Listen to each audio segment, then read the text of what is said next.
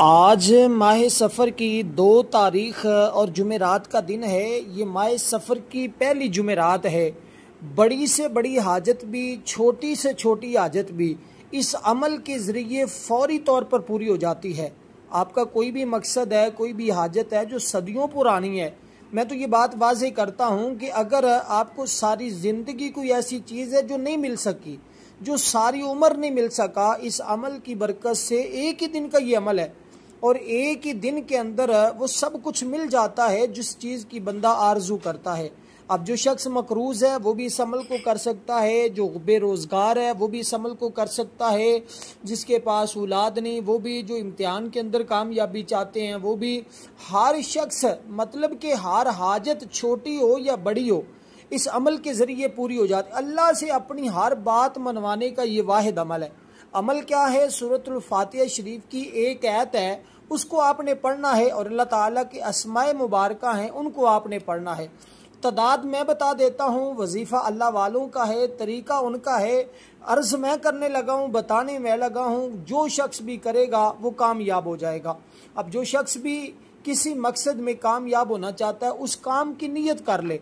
कि बारी ताला मैं फ़लाँ काम के लिए ये अमल कर रहा हूँ, या तेरी रज़ा के लिए, तुझे राज़ी करने के लिए मैं ये अमल कर रहा हूँ। आप इस तस्वर के साथ, इस इरादे के साथ, इस नीयत के साथ इस अमल को करें कि सबसे पहले आपने हजूर की सरवर कौनात, सरवर कौनैन इमामबिया ख़ातमनबीजीन की ज़ात पर आपने दरूद पाक पढ़ना है। कोई ज़्यादा तादाद नहीं, अमल की बिल्कुल मुख्तर सा है, बिल्कुल आसान सा है। बच्चा हो, बूढ़ा हो, जवान हो हर कोई इस अमल को कर सकता है। सबसे पहले सात मरतबा आपने द्रूद पाक पढ़ना है, क्योंकि ये जुमेरात का दिन बड़ा अहम होता है। अगर आप इस अमल को असर के बाद करते हैं तो असर के बाद की फजीलत और हमीयत तो हदीस पाक में बार बार आई है। इसलिए आप असर के बाद इस अमल को कर लें या किसी वक्त भी कर सकते हैं। अभी करना चाहें तो अभी भी कर सकते हैं। अब अमल करने का तरीका बिल्कुल सादे अल्फाज में आपको बताऊँगा ताकि कोई भी शख्स इस अमल से, इस वजीफे से महरूम ना रहे। दस बारह मिनट का ये अमल, पाँच सात मिनट का ये अमल है आपके करते ही ज़िंदगी बदल देता है। मुकद्दर संवर जाता है उस शख्स का। उस बंदे की तकदीर बदल जाती है। जो बंदा भी इस अमल को करता है। अब दरुद पाक, आपने जो हम नमाज़ के अंदर पढ़ते हैं, यानी दरुद इब्राहिम है वो दरुद पाक पढ़ना है अल्लाह मुहम्मद वाला आली मोहम्मद, कमा सल इब्राहिम वाला आली इब्राहिम इन्ना का हमीद मजीद। अल्लाह बारिक अला मोहम्मद मतलब पूरा दरुद पाक पढ़कर। फिर आपने इसकी तादाद अपने हाथ की उंगलियों पर भी गिन सकते हैं तस्बी के दानों पर भी गिन सकते हैं। अब आपने तादाद के अंदर कमी पेशी नहीं करनी। देखिए एक ताला होता है अगर ताले का ए, ताले की चाबी है उसका एक दंदा कम कर दिया जाए उसको तोड़ दिया जाए तो वो चाबी हरगिज ताला नहीं खोलती। इसी तरह कुछ वज़ायफ ऐसे होते हैं जिनमें अगर कमी पेशी कर दी जाए तो फिर उनकी तासीर और ताकत नहीं मिलती, जो कि उस क्योंकि वो मखसूस तादाद अल्लाह वालों की आजमूदा होती है। इसी तरह अल्लाह वालों ने उसको कई बार आजमाया होता है। तो ये आज नचंदी जुमेरात है और पहली जुमेरात है। इससे आपकी ज़िंदगी रोशन होगी, आपकी ज़िंदगी मुनवर होगी, आपकी ज़िंदगी के तमाम मसाइल हल होंगे। अब सूरतुल फातिहा शरीफ है ना, उसकी ऐत नंबर एक है। ये हर शख्स को आती है, कोई शख्स ये इनकार कर ही नहीं सकता, क्योंकि इस आयत बैनात के अंदर अल्लाह ताला की शान, अजमत, फजीलत सब कुछ बयान किया गया, अल्लाह ताला की हमद को बयान किया गया है। तो जब आप इस आयत बैनात को पढ़ेंगे तो इन ताला आप देखेंगे इसके कमालत और इसकी बरकत।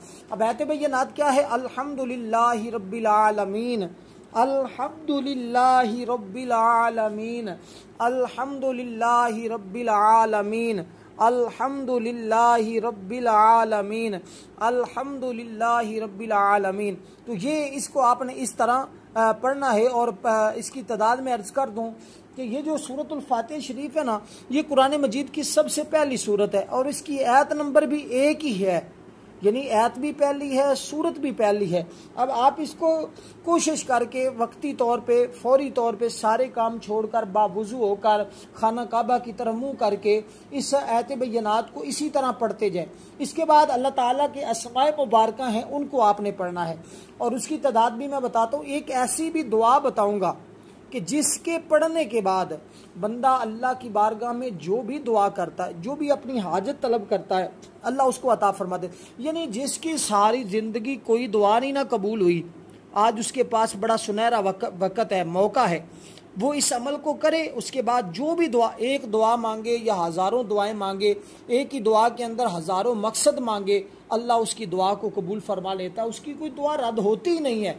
और यह जमूदा अमल है। हमें जब भी ज़रूरत होती है, अल्लाह के फजल करम से पढ़ कर दुआ मांगते हैं, अल्लाह अपना करम फरमा देता। क्योंकि आज तो एक बड़ा सुहानी मौका है, आज तो एक बड़ा अहम दिन है, आज तो क्योंकि पहली जुमेरात है जिसको नुचंदी और इस्लामी महीने की जो भी पहली जुमेरात होती है, उसको नचंदी जुमेरात ही कहा जाता है। इसलिए अमल नहायत कीमती है। इस अमल को मुकम्मल समझ कर करेंगे तो इन आज मायूसी नहीं होगी, आज ज़िंदगी रोशन होगी। अब आपने इसी तरह सबसे पहले ये चीज़ें पढ़नी है, जो मैंने अर्ज़ किया दरूद पाक, उसके बाद इस आयत को आपने इकतालीस बार पढ़ना है। उसके बाद आगे हम चलते हैं। अल्लाह ताला की असमा की बात करते हैं। देखें हजूर सलाम का फरमान भी है अब ये सुनिएगा एक फरमान, इसके साथ ही मैं अर्ज़ करता हूँ, अल्लाह ताला का इसमें मुबारक है। हजूर सलाम का फरमान, अकल ने फरमाया, बंदे और उसके कुफर के दरमियान फ़र्क सिर्फ़ नमाज़ का छोड़ना है। अल्लाह पाक फरमाते हाफिज़लावात वसलातबुस्ता वकूमकानतीन तमाम नमाज़ों, खसूसी बीच वाली नमाज़, यानी असर की नमाज़ की हिफाजत रखो और अल्लाह के हजूर खड़े रहो। रसूल वसल्लम का इरशाद है, वो शख्स दोजख में नहीं जाएगा।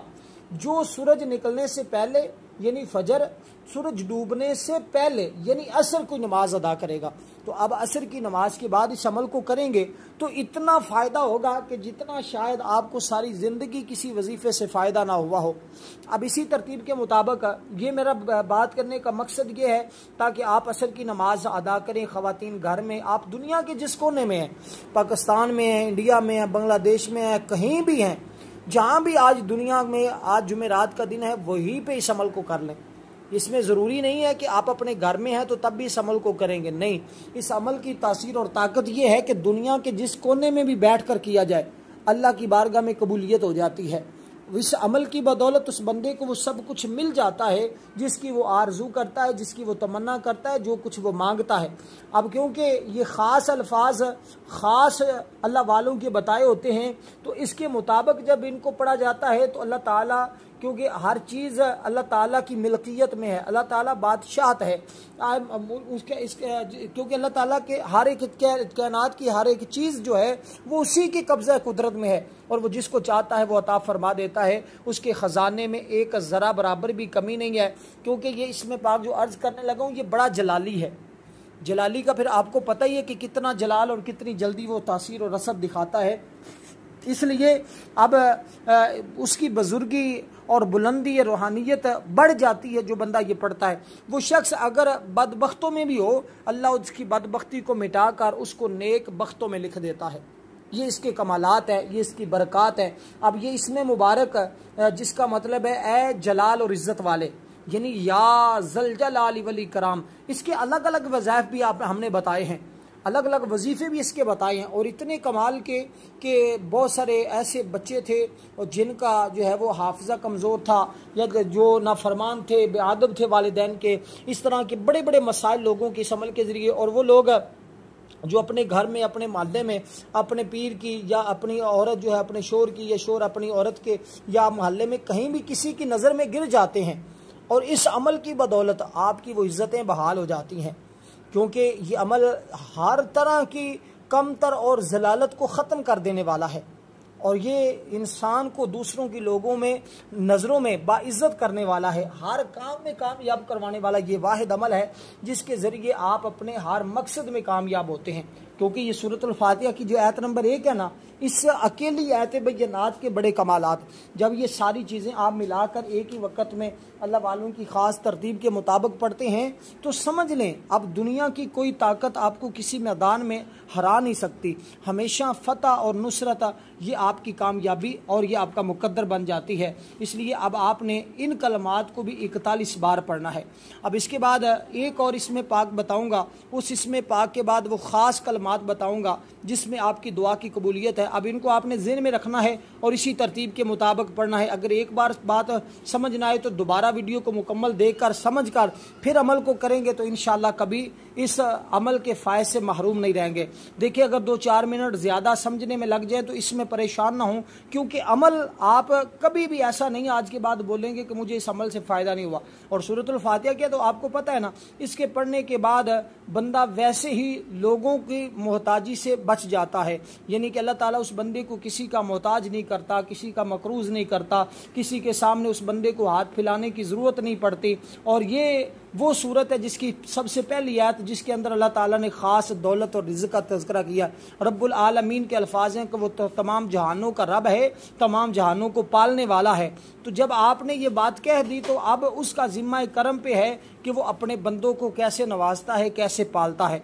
अब इसी तरह आपने इस अमल को कर लिया। इसके बाद अल्लाह ताला का इसमें मुबारक आपने बीस बार पढ़ना है।